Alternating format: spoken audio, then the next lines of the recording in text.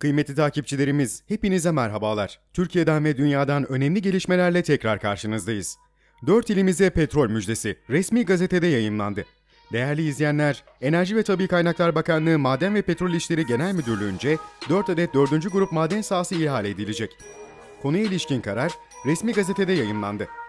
Buna göre Sivas, Malatya ve Elazığ illerinde 4. grup demir maden sahası uç ürün üretimine yönelik tesis kurulması şartıyla Konya, Muğla, Gaziantep, Antalya, Karaman ve Isparta'da ise 4. grup alüminyum maden sahası ara veya uç ürün üretimine yönelik tesis kurulması şartıyla ihaleye çıkarıldı. Ayrıca Ankara, Kırıkkale, Adana, Kayseri, Yozgat ve Bingöl'de 4. grup demir maden sahası ve Sivas, Malatya, Elazığ, Gümüşhane, Erzurum ve Artvin'de 4. grup kurşun, çinko, bakır ve molibden maden sahası uç ürün üretimine yönelik tesis kurulması şartıyla ihale edilecek.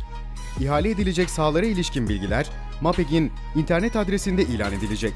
Kapalı teklif ve açık artırma usulüyle yapılacak olan ihaleye katılabilmek için gereken teminat tutarı, sahanın şartnamesinde belirtilen taban ihale bedelinden ve kapalı olarak verilen teklifin %20'sinden az olamayacak. Başvurular, ihalenin yapılacağı tarihte saat 09.09.30'da Maden ve Petrol İşleri Genel Müdürlüğü'nce doğrudan yapılacak. Öte yandan Enerji ve Tabi Kaynaklar Bakanlığı Maden ve Petrol İşleri Genel Müdürlüğü'nün petrol hakkında müteallik kararı da resmi gazetede yayınlandı.